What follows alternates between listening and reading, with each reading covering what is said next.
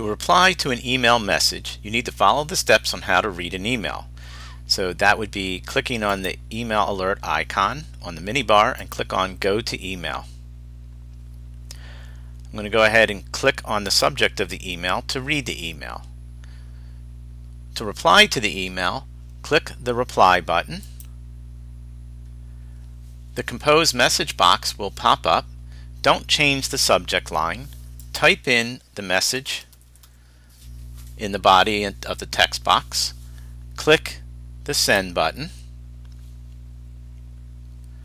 After the message is sent, you'll be taken back to the message preview window. You can go ahead and click the Close button to close that message window.